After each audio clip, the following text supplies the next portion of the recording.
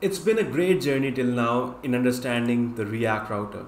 Till now we have covered so many topics. We understood what is React router and why do we need it.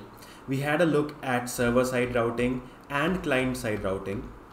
After that, we also understood what how can we define our routes using react router and how can we do the intentional navigation using the link component then we also had a look at when do we need the exact routing we also had a look at the programmatic navigation now probably the last topic that's remaining in react router is the types of routers Again, this is a very simple topic, but most of the people always remain confused about this topic, which is the types of routers. So React router gives us three types of routers. The browser router, which we were using, as you might remember, if I go to the app.jsx, inside that, as you can already see, that we are using the browser router. The next one is hash router, and the next one is memory router. So let me tell you what all do we use for what scenarios? What is used for what basically? So i'm going to open both my browser and my text editor in the side.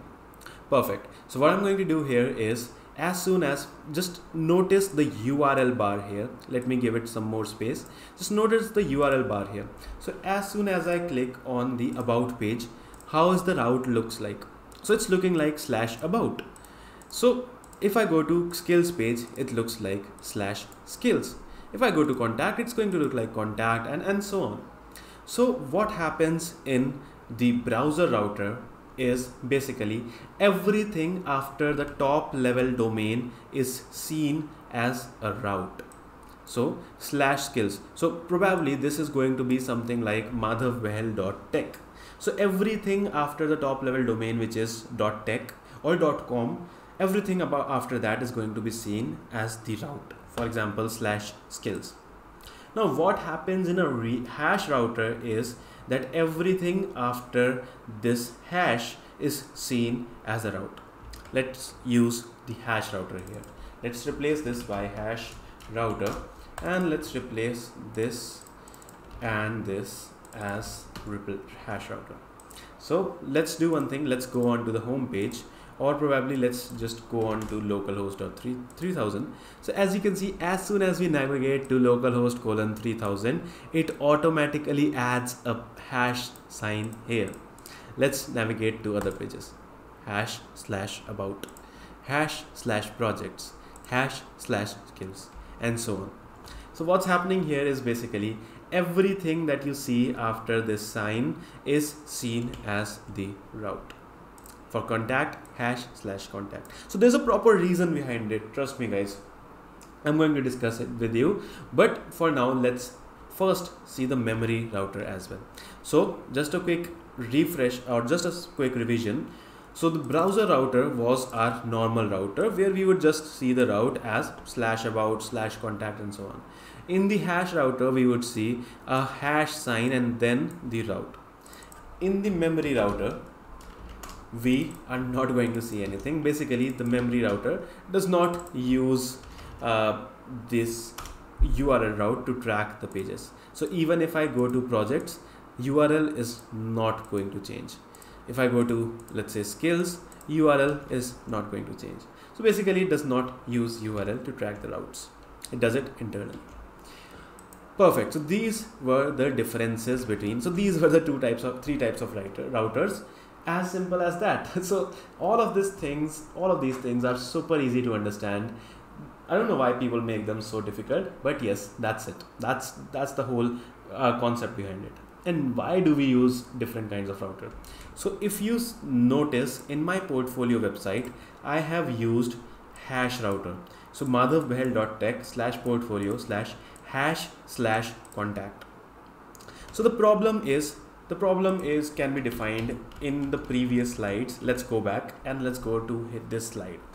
So what happens in the client side routing is as soon as we go to madhavbahl.tech slash about it makes a request to serve slash about route.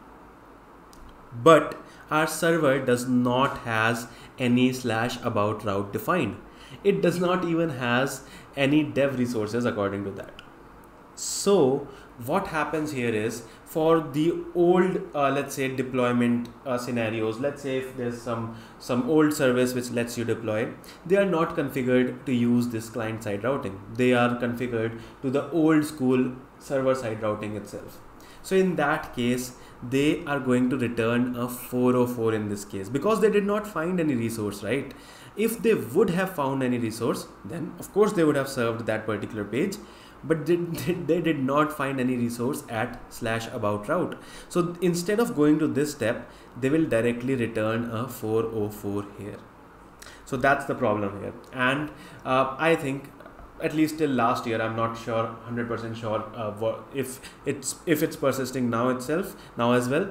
But even with github pages it does not work. The browser router does not work I know they must have fixed it by now, or if they did not, they will pretty they will pretty soon fix it. And I think by the time that you are seeing this video, they already might have fixed it. But earlier they did not support the browser router, and a lot of deployment services actually did not support the browser router, and that's the reason why we use hash router or memory router. So in this project, I have used hash router for the same case. Perfect. So I'm going to use the hash router here, router, and let's change it to hash router. That's it. So that's it. That is all inside our uh, React router series. So we can end this section here, but before ending this section and before going to the third section, understanding the React portals, I'll add another quick video to actually style our homepage.